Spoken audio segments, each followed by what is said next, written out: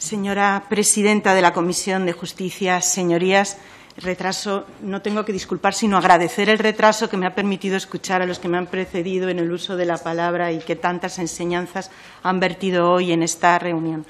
No quería empezar mi intervención sin unas palabras de recuerdo a todos los fallecidos por el COVID-19 y un reconocimiento a todos los que desde la primera línea están luchando por erradicarlo.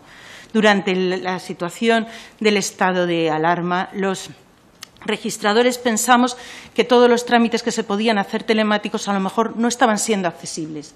Y el 1 de abril cambiamos nuestra web para hacerla accesible a todas las personas con algún tipo de discapacidad obtuvimos un certificado de Ilunion, de accesibilidad AA, para que de esa manera puedan navegar, interactuar y acceder de una manera eficaz y autónoma. Creo que este es un compromiso que tenemos que incorporar todos los que prestamos servicios a los ciudadanos y hemos de comprometernos más, si es posible, con la accesibilidad. Y en ese compromiso, cuando se inició la tramitación de la ley que hoy nos ocupa, una ley que goza de altos consensos, que también eh, es una ley que ha permitido un debate porque se ha tramitado escuchando a muchos expertos, decidimos que no debíamos volver a reiterar aquellas propuestas que habíamos hecho. Mi presencia hoy aquí se debe a que el informe que el Consejo de Estado eh, realizó el 11 de abril del 2019 eh, señalaba o solicitaba eh, o, preveía la oportunidad de que se procediera a regular el libro único informatizado de situaciones de la persona que se mencionaba en distintos preceptos y sugería la posibilidad de que se redactara un artículo 242 bis que recogiera esa regulación. Por lo tanto, nosotros, concernidos también y en ese compromiso de intentar entre todos ser un instrumento, la institución registral, útil a todas las personas con independencia de sus capacidades, haciendo efectivo el artículo 10 de la Constitución española, es por lo que nos hemos permitido hacerles llegar una posible regulación que, si señorías consideran oportuna, se podría incorporar a la ley. Hemos hecho dos, preceptos, el 242 bis, y hemos añadido uno más para poder cerrar el círculo, como luego les explicaré. Pero lo primero que quería comentarles a ustedes, señorías, es que no se trata de un nuevo libro. Es curioso que hablen de un libro que existe desde 1861, desde la primera ley hipotecaria.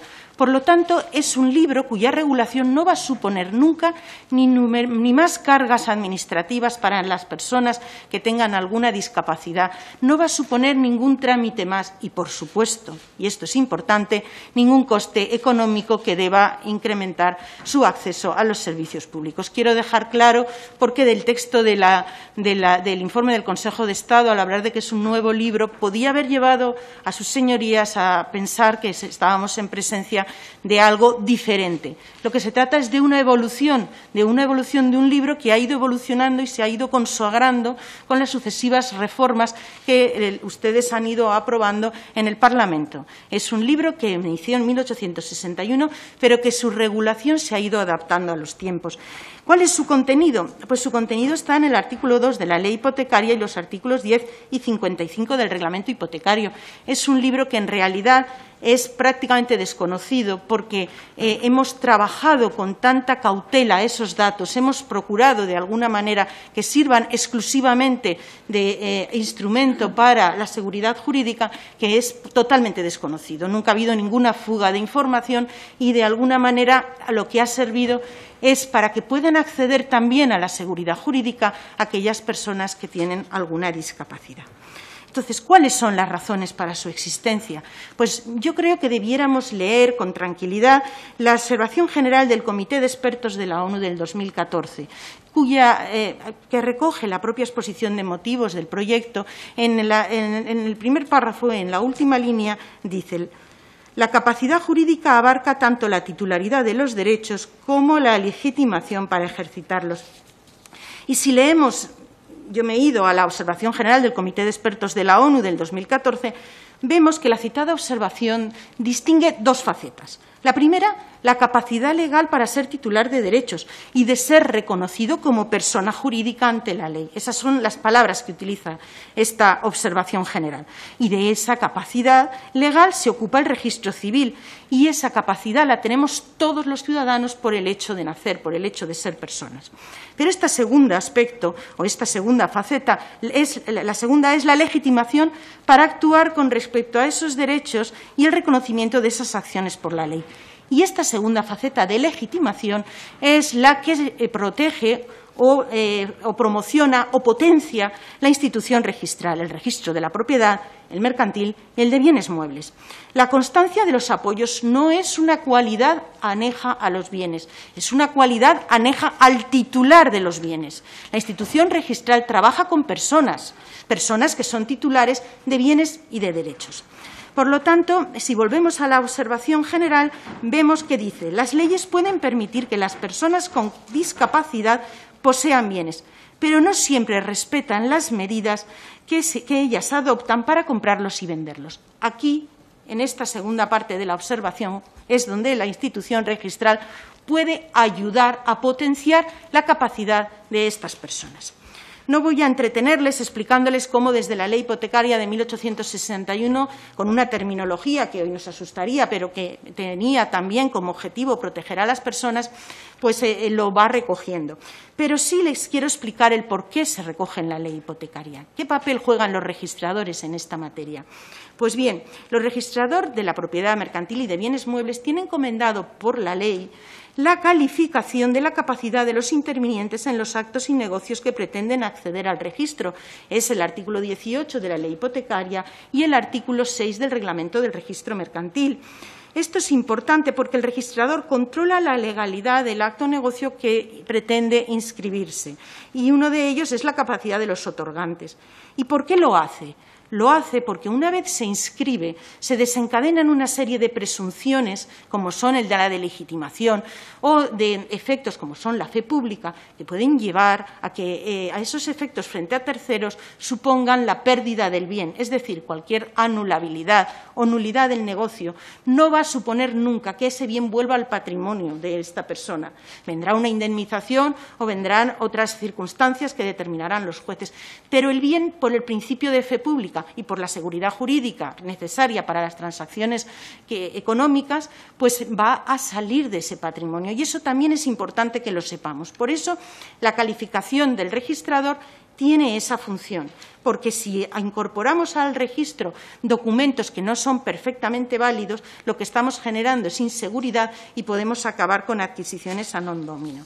Y es importante esta calificación porque no solamente al registro acceden documentos públicos como los judiciales, administrativos, notariales, acceden documentos nacionales y extranjeros y acceden documentos privados. Y es importante eh, poder comprobar que todos los requisitos se cumplen.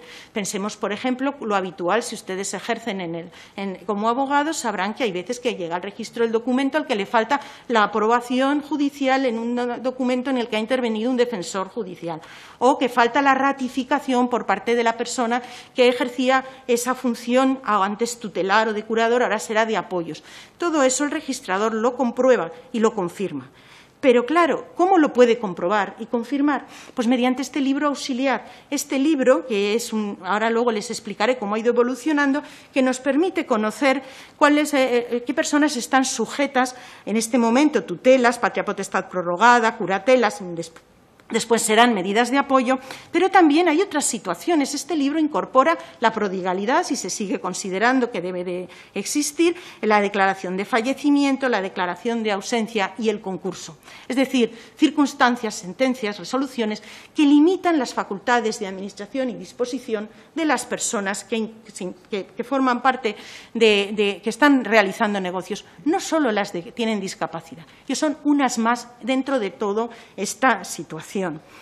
Bien, este libro, que como les comentaba, nació en 1861, como consecuencia de la recomendación del Parlamento Europeo en resolución de 14 de septiembre de 1989 sobre transacciones inmobiliarias, dio origen a la instrucción de 29 de octubre del 96, que, exigió que se estableciera un índice único centralizado. Si quieren, luego les explico cómo funciona, pero como termina es que cada registro remite al Colegio de Registradores la información respecto de las situaciones de discapacidad de alguna de todas estas materias que les he explicado eh, por vía telemática. Eh, los servicios centrales integran la información y la vuelven otra vez a devolver a todos los registros, de manera que cuando tú vas a operar sobre la titularidad de una persona, puedes llegar a conocer, si así es, si ha sido inscrito, que esa persona tiene alguna limitación en sus facultades dispositivas. La utilidad de este sistema ha sido tan valorado que con la reforma del 2005 el artículo 61 bis exige que se consulte por el registrador mercantil a la hora de que se proceda a la inscripción de un nombramiento de un administrador, de un liquidador o de un apoderado de una sociedad. Documentos todos que pueden llegar también en documento privado y que permiten, de alguna manera, que si, el si ha sido inhabilitado para ser administrador, pues no lo pueda ser. Es decir, el registrador denegará la inscripción como administrador de una sociedad. Pero además, la, directiva de 2019-1151 del Parlamento Europeo, la llamada de herramientas y procesos digitales en el ámbito del derecho de sociedades, en su artículo 13 decies, ya va a exigir que esa posibilidad de saber si un administrador está o no inhabilitado se haga a nivel europeo. Y ustedes, cuando transpongan la directiva, verán con las cautelas necesarias que se haga esa interconexión de todos los registros mercantiles que ya existe y que, de alguna manera, impida que una persona que judicialmente ha sido inhabilitado para ser administrador pueda llegar a serlo en cualquier país europeo. Esta herramienta funciona, esta herramienta está en, estos momentos operativo y creo que es una herramienta útil, ustedes lo, lo decidirán. Pero claro, cuando tienes una herramienta con datos tan sensibles, puedes llegar a pensar si con esto se está infringiendo la ley de protección de datos o si pueden haber fugas de información. Yo les repito que en todos estos más de 150 años no las han habido, pero no debemos descuidarnos. Miren, estamos hablando de un registro. Un registro no es una base de datos, no es un repositorio, es una institución sujeta a leyes y a controles. Pero también es importante que se sepa que la publicidad que se pueda obtener siempre es calificada por el registrador. Y en el caso de que se trate de datos protegidos, nunca se da nosotros trabajamos codo con codo con la Agencia de Protección de Datos y cuando unos datos son declarados protegidos, por ejemplo, el precio es un dato protegido, pues no lo damos si no es a través de una autorización judicial o por un procedimiento muy complejo. En estos momentos se pretende que el artículo 83 de la Ley de Registro Civil califique como datos protegidos la discapacidad y sus medidas de apoyo. Seremos los primeros en impedir que eso acceda a nadie a esa publicidad. Pero la Ley Orgánica de Protección de Datos debemos saber que nos excluye. Nos excluye en su artículo 2.3. Establece que nos rijamos por nuestra legislación específica y solo subsidiariamente por la, Ley Orgánica de Protección de Datos. Y en esa situación, si ustedes leen el artículo 2.3, se encuentran los registros civiles y los registros de la propiedad y mercantiles. Tenemos un régimen paralelo de protección.